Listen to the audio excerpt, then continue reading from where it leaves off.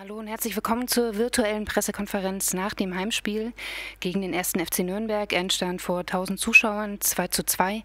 Die Pressekonferenz wieder, wird wieder zweigeteilt sein. In diesem Zuge begrüße ich auf dem Podium Gästetrainer Robert Klaus und Pressesprecher Christian Bönig. Die Journalisten sind per Video zugeschaltet, schreiben ihre Fragen in den Chat und Christian Bönig wird sie vorlesen. In diesem Sinne, Christian, ich übergebe das Wort direkt an dich. Anne, vielen Dank. Ja, auch von mir einen wunderschönen guten Abend und dann willkommen zum ersten Teil der heutigen Pressekonferenz nach dem Spiel des FC St. Pauli gegen den ersten FC Nürnberg. Robert, dann würde ich dich gleich mal direkt um deine Analyse nach dem 2 zu 2 bitten. Ja, hallo auch von meiner Seite an alle. Ja, ich glaube, am Ende eine gerechte Punkteteilung, ein 2-2, ein sehr gutes Zweitligaspiel mit vielen Offensivaktionen, mit vielen Situationen im Strafraum. Ähm, das, das gefällt mir, diese Art von Fußball, die auch beide Mannschaften gespielt haben. Deshalb können wir und müssen wir auch mit dem Punkt leben in diesem Spiel.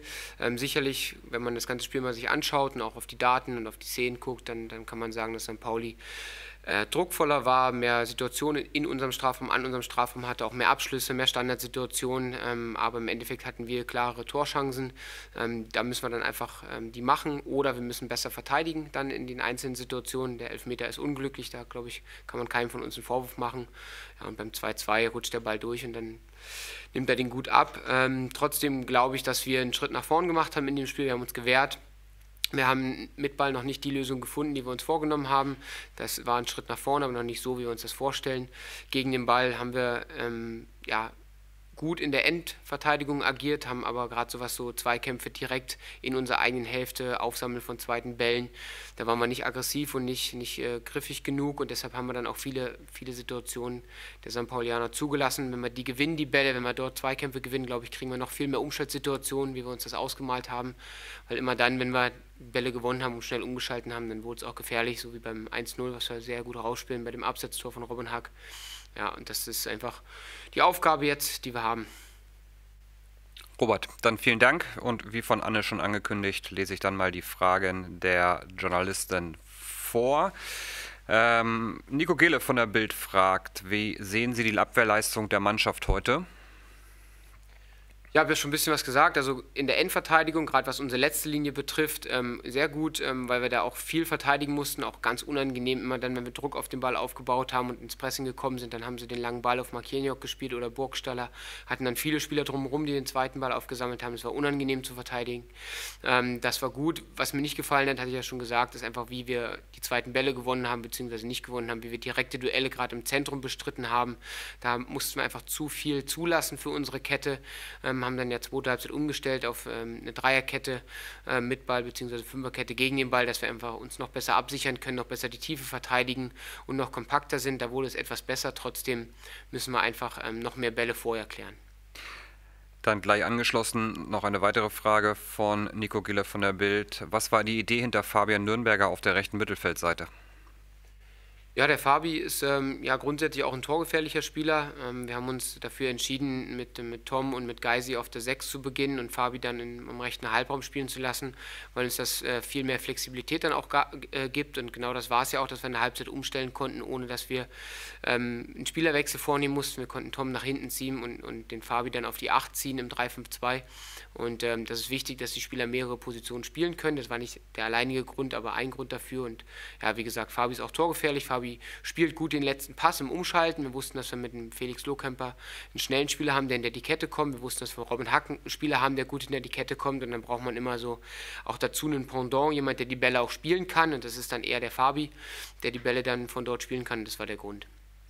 Und eine dritte und letzte Frage von Nico Gelev. Ein Wort zu Schefflers FCN-Premiere. Ja, ich glaube, man hat gesehen, was der Chef für uns leisten kann. Ähm, der hat jetzt ja nicht so lange trainiert, ähm, aber die Einheiten, die er gemacht hat, waren gut. Ähm, solange wie die Kraft reicht, wollten wir ihn auf dem Platz sehen. Das haben wir dann auch gesehen, ähm, dass er wichtig ist. Ähm, er hat das Tor gemacht, äh, gleich mit seiner ersten Chance, ähm, hat die Abwehrspieler beschäftigt. er selber war noch nicht ganz zufrieden mit seinem Spiel, gerade was so Ballsicherung anbetrifft. aber man merkt, es ist ein spielintelligenter Spieler, der auch Situationen erkennt, wie wir im Pressing anlaufen, dass er mal seine Position verändert. das, ist, das ist wichtig für uns und ja, ähm, ich glaube auch, dass wir als Mannschaft dann, wenn er auf dem Platz steht, einfach uns ähm, noch, noch selbstbewusster sind, weil wir merken, okay, da ist ein Spieler da, der auch ähm, mal ein Tor direkt macht mit der ersten Chance und es gibt uns einfach Halt und Vertrauen. Kommen wir zu Christoph Stüm, der fragt, zum dritten Mal hat Ihre Mannschaft eine Führung verspielt. Gibt es dafür schon eine Erklärung?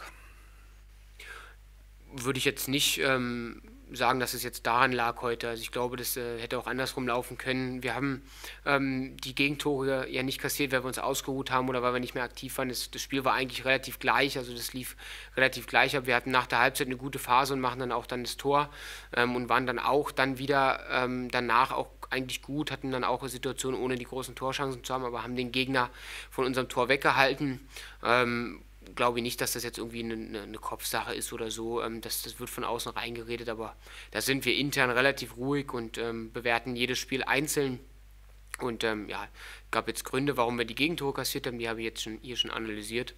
Und ähm, alles andere ist dann eher inhaltlich und weniger auf, diesen, auf diesem Thema basierend. Robert, kommen wir zur letzten Frage die ist gestellt von Wolfgang Lars von den Nürnberger Nachrichten. Ein Sieg, zwei Unentschieden, eine Niederlage. Wie beurteilen Sie den Start?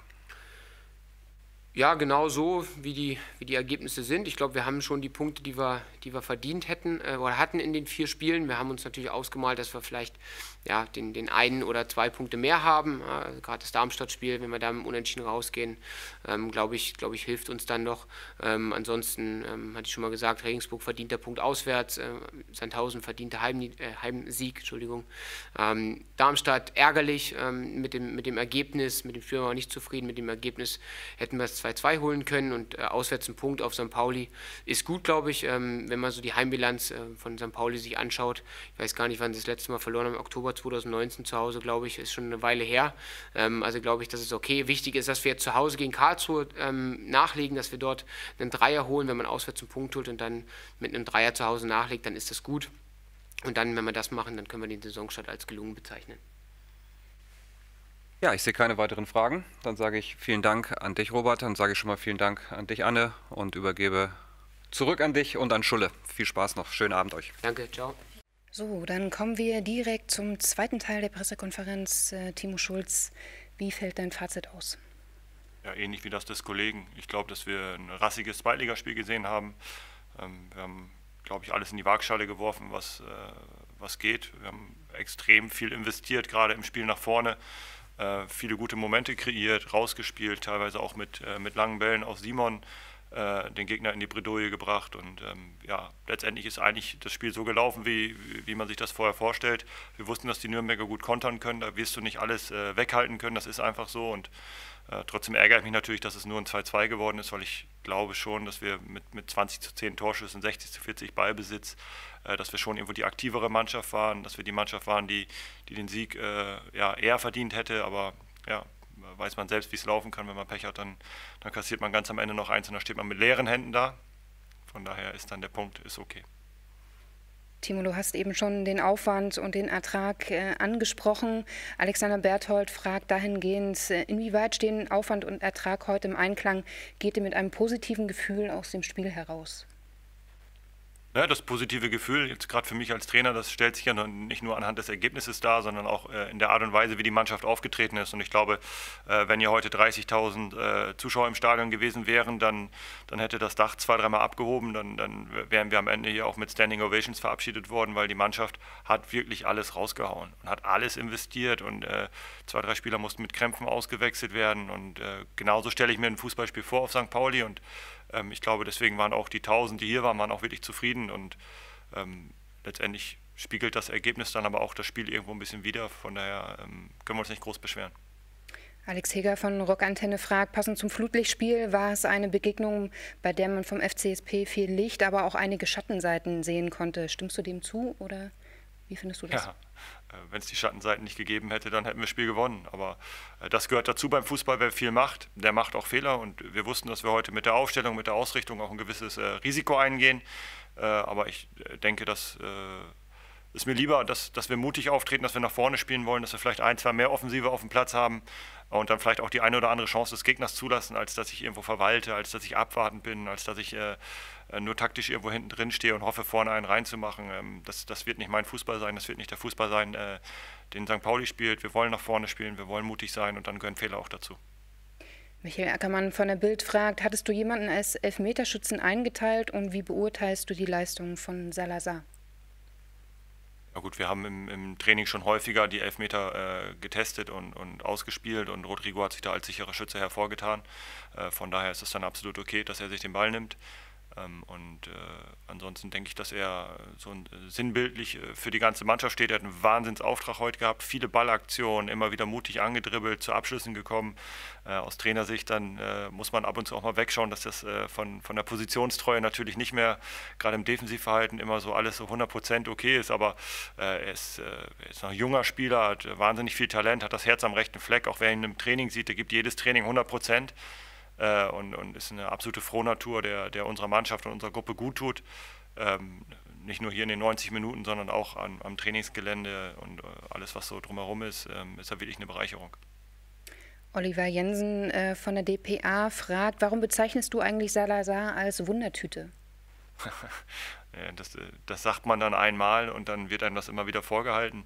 Ähm, letztendlich ist es so, wenn man, wenn man Spieler aus, aus anderen Kulturkreisen holt und äh, Rodrigo ist ja dann noch mit einer kleinen Odyssee aus, äh, von Frankfurt ausgeliehen nach, nach Polen, da dann nur in der zweiten Mannschaft gespielt. Da weiß man natürlich nie so 100 Prozent, was man kriegt. Ähm, unser Scouting kannte den Spieler schon, schon länger und äh, war felsenfest davon überzeugt, dass er uns weiterhilft und äh, haben sie recht gehabt. Dann fragt ähm, Alexander Berthold, wie hatte die Widerstandsfähigkeit nach den beiden Gegentoren gefallen? Ja, ich glaube, dass wir in dem Bereich den größten Schritt gemacht haben, jetzt in der, in der Zusammenarbeit der letzten zwei, drei Monate. Ähm, kann mich an, an einige Spiele letztes Jahr erinnern, wo die Mannschaft regelmäßig dann, wenn sie zurücklag, äh, nicht wieder zurückgefunden hat ins Spiel. Und wenn ich jetzt dieses Jahr sehe, wie wir in Bochum zurückgekommen sind, heute zwei Rückstände, auch wie wir nach, äh, nach dem Rückstand in Sandhausen weitergespielt haben, nach vorne gespielt haben, ähm, das ist schon, ist schon große Klasse und zeigt auch den Charakter der Mannschaft. Die glauben an sich, die Jungs, die pushen sich gegenseitig, die ganze Bank geht mit, ähm, alle sind zu 100 Prozent dabei und äh, da sieht man, dass eine Mannschaft auf dem Platz steht, die so schnell nichts umwirft. Und deswegen es ist für mich auch keine Frage, wenn wir zurückliegen, dass wir trotzdem das Spiel immer noch äh, biegen können. Heute gab es einige Elfmeter. Äh, dahingehend fragt ähm, Alex Heger von Rockantenne, wie schätzen Sie die Situation beim zweiten Elfmeter ein? Ich habe es noch nicht gesehen, wenn ich ehrlich bin. Aber wenn der Schiri das pfeift, dann wird es einer gewesen sein. Dann äh, bleiben wir auch bei den Toren. Michael Ackermann möchte gerne wissen, hättest du Buballa so ein Tor zugetraut? Nein. Ich hab, äh, musste mich auch erstmal umdrehen zur Bank und fragen, war das jetzt Knolli oder Buba? Ich glaube, Buba konnte selber so gar nicht richtig fassen, aber ähm, habe gerade schon scherzhaft gesagt, mein Training schlägt an. ähm, ne, Spaß beiseite. Ähm, richtig cool erstmal, dass er die Zone besetzt hat, weil das ist tatsächlich etwas, was, äh, was uns wichtig ist, dass diese Zone hinten besetzt ist, dann auch in dem Moment von dem Außenverteidiger. Er ist ruhig geblieben, hat einen super ersten Kontakt und spielt den Ball wirklich bewusst da hinten rein. Es war kein Zufall, sondern es war gewollt, von daher Chapeau, äh, war ein tolles Tor. Dann möchte Frank Sorgatz von Regionalsport gerne wissen, etwas überraschend saß Knolli auf der Bank. Lag es an seinen Rückenproblemen oder hatte es andere Gründe? Ja, auf der einen Seite äh, konnte Knolli nicht zu 100 Prozent trainieren. Äh, trotzdem war er aber absolut spielfit und äh, habe mich heute für eine andere äh, Aufstellung entschieden. Und das, das, gehört auch dazu. Knolli hat das super aufgenommen und äh, hat die Mannschaft vor dem Spiel nochmal heiß gemacht. Von daher bin ich da mit seiner Rolle heute, auch als er reingekommen ist, äh, mehr als zufrieden. Und dass sein Anspruch ist, auf dem Platz zu stehen, das ist, ist selbstverständlich. Das geht nicht nur ihm so, sondern auch einigen anderen, die heute auf der Bank gesessen haben. Aber ähm, die Saison ist lang, wir brauchen alle Spieler und äh, Knolli ist ein, ist ein elementarer Bestandteil, ist absoluter Führungsspieler bei uns. Und da spielt es dann auch keine Rolle, ob man 34 Spiele von Anfang bis Ende auf dem Platz steht oder ob man ab und zu auch mal dann von der Bank kommt. Kommen wir nochmal zu Rodrigo zurück. Dahingehend möchte Andreas Hart gerne wissen, wie verständigt ihr euch mit ihm? Versteht er alles, was du willst? Ja, Rodrigo kann tatsächlich Deutsch ähm, verstehen. Ähm, wenn es dann in die Tiefe geht und wenn man äh, taktisch komplexere Sachen machen möchte, dann ist es schon eher auf Englisch. Ähm, das ist deutlich besser bei ihm und äh, Robin Himmelmann kann sehr gut Spanisch, der, der kann dann auch mit ihm wirklich auf Spanisch noch äh, zu 100 Prozent alles klären. Aber das ist die Fußballersprache, das funktioniert einwandfrei. Wie gesagt, das ist ein ganz äh, offener, äh, toller Charakter, der, der sich alles äh, auch mit den, mit den Augen beibringt, was auf dem Fußballplatz passiert. Von daher, ähm, das läuft sehr gut. Dann war es bis hierhin. Aktuell gibt es noch keine weiteren Fragen. Deshalb nochmal in die Runde die Frage gestellt. Habt ihr noch. Oh, Michael Erkemann, Entschuldigung, deine Frage habe ich komplett vergessen. Und zwar möchte er gerne wissen, wie riskant war es, zwei Innenverteidiger auf einmal zu wechseln? Ein schwarzer Tag für Abevor, ist er verletzt?